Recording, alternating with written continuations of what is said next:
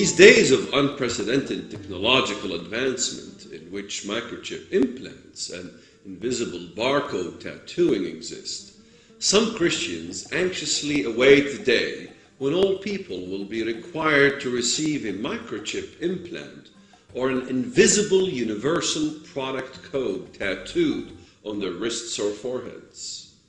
Can we really expect modern technologies such as invisible barcode tattoos to penetrate every last corner of the world? I see no reason to believe that the UPC code or microchip implant is what the Bible calls the mark of the beast.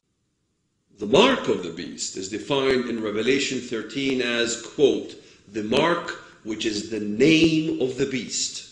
First, we need to understand that in the Bible, a name does not always indicate a literal name, as modern Western mind understands the term.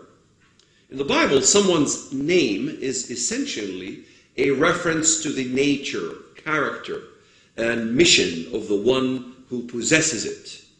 It need not indicate a literal name per se, as it commonly does in the West.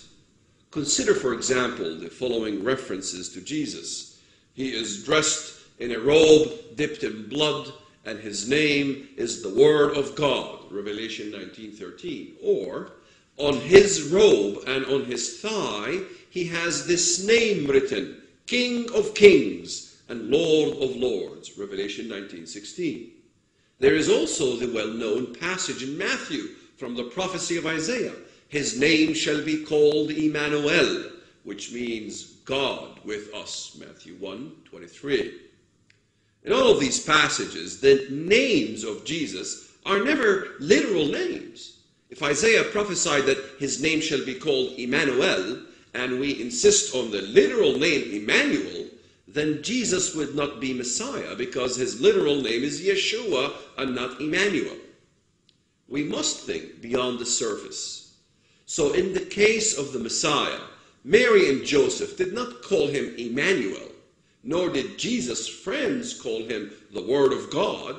Instead, these are all titles and or descriptions that refer specifically to the nature and the character of Jesus. Also, the creed or declaration of faith in this Messiah matches his name. Uh, so in this case, the title is really the creed or the declaration of faith in the Messiah. He is the Emmanuel, God with us. This indeed is our creed. This matches his name, for we believe in God with us. And the Word was God, and he is also called Mighty God, Isaiah 9, verse 6. Those who call Jesus by these names affirm that they worship the man befriending God, who for our salvation came down from heaven and was incarnate of the Holy Spirit and of the Virgin Mary. This is the Nicene Creed, of course. He is the Word which became flesh and dwelt amongst us, as in John 1st. In conclusion, the name is a creed or a dogma or an article of faith or a statement of faith. The significance of the name of the beast, per se, is that it is the name of blasphemy, as the Bible says in Revelation verse thir- chapter 13, verse 1. Biblically speaking, blasphemy is an anti-Yahweh or anti-Christ word or deed to claim the attributes of God, claim to be Messiah, deny the Holy Spirit, deny the Trinity, the cross, or even denying God's edicts and declarations are all blasphemy in accordance to the Bible. Satan, for example, blasphemed God when he said, I will be like the Most High, Isaiah 14 14. Satan has always desired to be like God. He wishes to be considered equal to or greater than Yahweh. The name Allah in Islam is always used in conjunction with the word Ta'ala, the Most High. If we look again at the verse, we see that the name of the beast is not simply a name of blasphemy, but rather it is the name of blasphemy. It is the highest quintessential blasphemy. It claims to possess the attributes or nature of Yahweh, the God of the Bible. As such, the name of the beast is a claim to be equal to or greater than God and the Messiah. The name of the beast will contain or imply some form of anti Yahweh and antichrist doctrinal or creedal language that will exalt another above Yahweh. Beyond denying the Trinity, Islam also denies the divine incarnation of Jesus Christ as the Son of God, as well as his death, burial, and resurrection. But beyond all of this, Islam has memorialized its anti Yahweh, anti Christ theology specifically in a creedal formula. In Islam, the Shahadatan is the Islamic creed or declaration of faith, and it's the first pillar in Islam. In the Arabic, it reads as follows La ilaha illallah Muhammadun Rasulullah. This means there is no God but Allah, and Muhammad is the one sent by Allah as the messenger of Allah. The two elements of this creed are the following Allah is the only one true supreme God, and Muhammad, the praised one, is the seal and final messenger of Allah. These two components of the Shahadatan, in a very succinct manner, perhaps better than any creedal statement could perfectly fulfill both dimensions of the definition of blasphemy that we just discussed. First, it attempts to claim that another God other than Yahweh is the only true God. And secondly, the Shahadatan is blasphemous towards God of the Bible because it attempts to place Muhammad in the position that only Jesus, the Messiah, can fill. Muslims identify Muhammad as Al-Insan Al-Kamil, the perfect man, Rahmatin Al-Alameen, a mercy to all mankind, Al-Rasul Al-A'zam, the greatest of all sent by God, Shafi, the healer, Al-Munji, the savior, Mahdi, guided one, deliverer, Al-Mustafa, chosen, Amir, the prince, Awwal, the first, Akhir, the last, Rasul Al-Malahim, messenger of the last day's battle, and finally Muhammad, the praised one, such are the blasphemous names of Muhammad.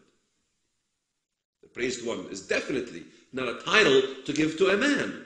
The praised one can only be a title and, and, and an attribute that belongs to only God. One cannot call somebody the praised one on earth. Yet, despite the quintessentially blasphemous nature of the Shahadatan, it is recited into the ear of every Muslim child the moment after they are born. It is the verbally expressed outward sign of conversion to Islam.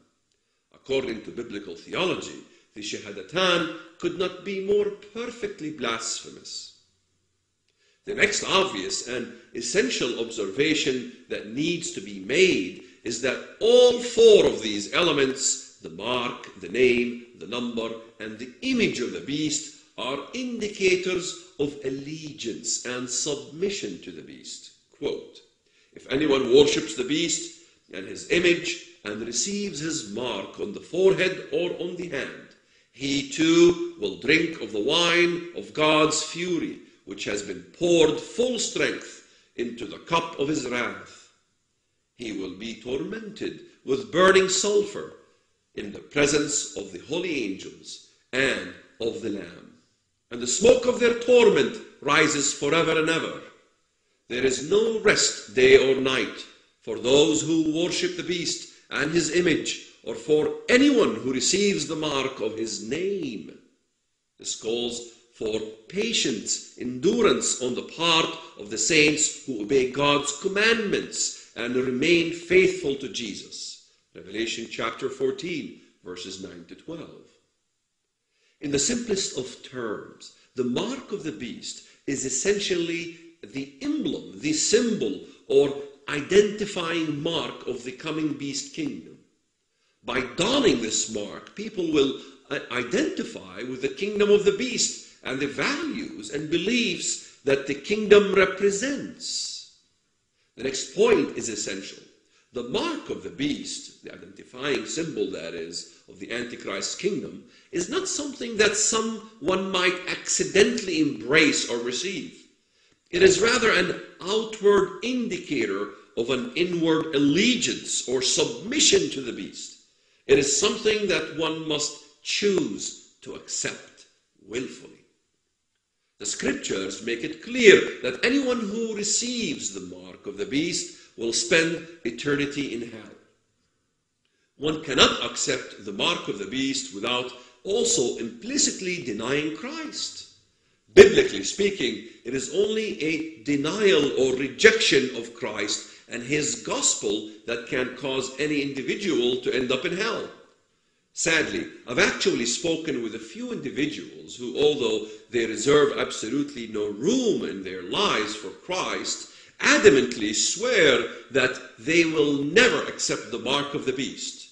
Mark of the beast is not some loophole or backdoor clause that Satan will use to bypass God's normal biblical standards of justice in order to slip as many people into hell as he can. Yet, as foolish as this may sound, there are many who perceive the mark of the beast in precisely this way. In receiving the mark of the beast, there is an implicit acceptance and identification with a very specific anti Yahweh and anti Christ theology.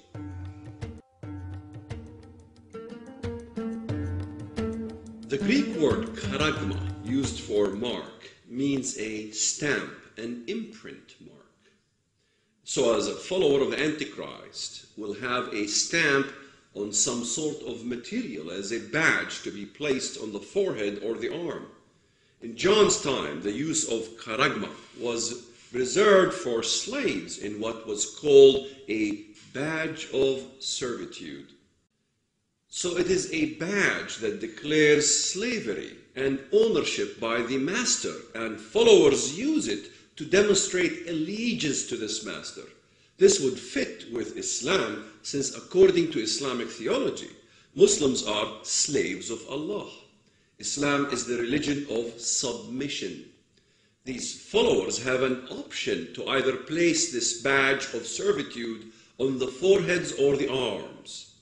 Western analysts think that the mark is placed on the hand. This is not necessarily the only spot.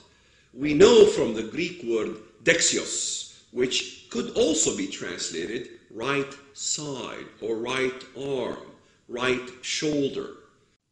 Amazingly, and in keeping perfectly with what the Bible predicted so long ago regarding the beast and his mark, the badge is in fact an Islamic commandment from the Prophet himself. Quote, Allah will save a man from my nation, Muhammad says, a man from my nation above all creation on Judgment Day. In front of him will be laid 99 registers for his sins. Every register is as long as the eye can see then he is asked, Do you deny any of these sins?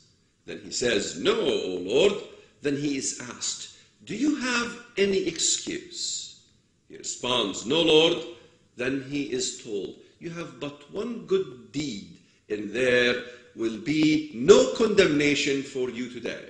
A badge is brought forth. Scrawled across it are the words, No God but Allah, and Muhammad is his messenger. Then he is asked to bring forth his deeds. He asks, O Lord, what is this badge that is with these register? He is told, You will receive no condemnation. The deeds are put on one hand and the badge on the other. Then the registers will float and the badge will outweigh the register. This is registered by the Tirmidhi 2639. To sum it up, the name of the beast, along with variations of the name Allah, is worn on a sign of submission on the right arm or foreheads. Islam is submission and allegiance to a foreign God. That Shahadatan is blasphemous from a biblical perspective. This badge is worn by Muslims on the foreheads. All of these things meet the biblical requirements of the mark of the beast. And just in case you are still in doubt, even the part of the Bible that predicted the beast will mark the foreheads in the, is in the Quran itself and in the Hadith as well. Dabbat al-Ard, literally the beast out of the earth, is an Islamic version of the account of the beast of the earth in Revelation 13:11. But unlike the Bible, in which this beast is evil, the Quran gives him a holy mission to revive Islam and mark the foreheads of all true Muslim believers. According to Islamic tradition, the beast emerges in the last days, quote, and when the word is fulfilled concerning them, we shall bring forth a beast out of the earth to speak unto them, because mankind had not faith in our revelation. This is Quran chapter 27, verse 82 quote from the hadith as well, the Prophet of Islam declared, the first of the signs that will come is the rising of the sun from the place of its setting and the emergence of the beast upon the people. Whichever of these two occurs before the other, then the other is right behind. Can you imagine my shock when I studied the Bible? I was taught that a beast would come out of the earth and he would mark the foreheads of all Muslims. Do you see how Satan has turned everything upside down for Muslims? When I was a Muslim, I wanted the mark of the beast. Not surprisingly, according to Islamic tradition, this beast comes out of Mecca. The Prophet took me to a place in the desert near Mecca. It was a dry piece of land surrounded by sand. The Prophet said, The beast will emerge from this place. It was a very small area. Even as the last days beast religion has emerged out of Mecca, so also Islam has the beast emerging out of Mecca. Amazingly, the Bible, the angel took John to the desert to see this woman or prostitute riding a beast that most likely comes out of the desert of Arabia.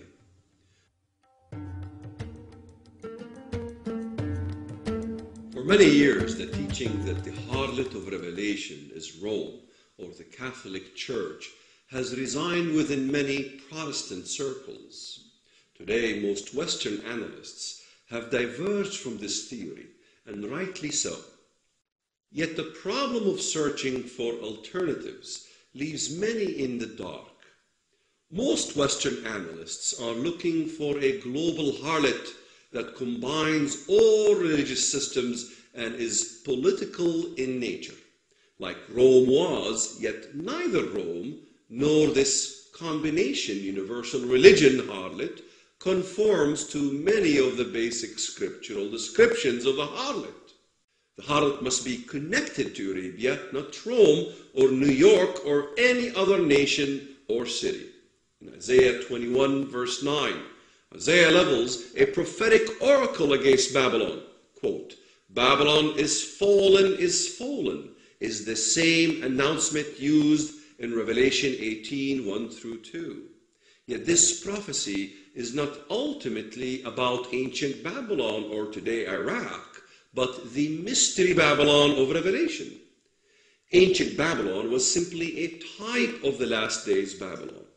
The names in this prophecy are all areas in Arabia the burden against Duma in verse 7, the burden against Arabia in verse 13. All the glory of Kedar will fail, verse 16. Duma and Kedar are in Arabia, as the text shows, quote, all the glory of Kedar will fail, as in verse 16. All of the locations mentioned in Isaiah 21 are in the desert of Arabia, the region of Revelation 17, which is surrounded by many waters or seas. In fact, in Isaiah 21, verse 1, it says, The burden against the desert of the sea. This is a desert in the midst of oceanic waters. Arabia, in fact, is referred to by all Muslims as Al Jazeera al Arabiya, literally the Arab desert island or the Arabian peninsula, desert of the sea, verse 1. There are many conjectures concerning Mystery Babylon. Some say that Babylon is the United States of America or the Vatican. However, none of these theories are supported by the text. Remember, we need to be strict when we examine the Bible to contain our study within the text of the Bible alone. Either students of the Bible build a mold from Scripture or they make the Scriptures fit their theories. There's only two choices. There are really only these choices. Once we read the text of Isaiah 21, it becomes quite clear an oracle concerning the desert by the sea. Isaiah 21, verse 1 again. This is not the Tigris and the Euphrates rivers in Iraq, but on a literal sea surrounded by the massive waters in the Persian Arab Sea or Indian Ocean, and the Red Sea surrounds this massive desert. It is also thought that the sea may be referred to the Nufud Desert, a virtual ocean of enormous sand of dunes. The camel was called the ship of the desert, the only formidable vehicle to transport through the sea of sand.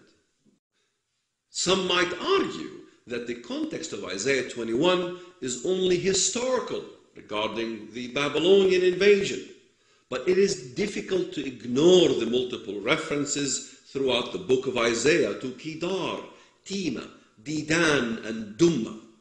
Dumma is in Saudi Arabia near Yathrib or Medina and today is known as Dummat al-Jandal. Dumma, one of the sons of Ishmael, is also associated with Edom and Seir in Isaiah 21:11. It is believed by many that Kedar, another of Ishmael's son, is the line from which Muhammad descended. It is likely that Mecca is the glory of Kedar mentioned in verse 16. We will also examine the crucial text of Isaiah 34, which is the destruction of Edom, including its oil. It would be impossible to allude to Isaiah 34 as a historic reference because the purpose of the destruction against Edom there is over the final battle for Jerusalem, in which the Lord Himself will be present and fighting. In Habakkuk 3 as well, this takes place in Midian, which is in today Arabia. The Psalms even gives us a literal reference to Edom being the daughter of Babylon, born from, from Babylon. Quote, Remember, O Lord, against the sons of Edom, the day of Jerusalem, who said, Raise it, raise it to its very foundation, O daughter of Babylon, who are to be destroyed. Psalm 137, verses 7 to 8. Arabia is definitely the daughter of Babylon, since it was made so by Nabonidus, who extended Babylon to Yathrib and Medina. This is a well documented historic fact in which the Babylonian worship of the moon god was introduced to Arabia by Nabonidus. In all of these Old Testament prophecies concerning the utter destruction of Babylon, they cannot be speaking of the ancient city of Babylon because it was inhabited for roughly 500 years after these prophecies were given until around 141 BC when the Parthian Empire took over the region and the city was emptied of inhabitants. After this, the city slowly decayed, but it never suffered a fate anywhere near the utter destruction that was suffered by Sodom and Gomorrah, with fire raining down from heaven as many of these prophecies describe. Speaking of the destruction of Mystery Babylon, we read, quote, No Arab will pitch his tent there, no shepherd will rest his flocks there. Isaiah 13:20. This cannot be attributed to Rome as some teach. Arabs never pitch their tents there. The ultimate fulfillment of this verse is the destruction of the last day Babylon. We know this because the passage speaks about, quote, the day of the Lord, verse 9, with the heavens not giving light in verse 10. This is not historical but end times related.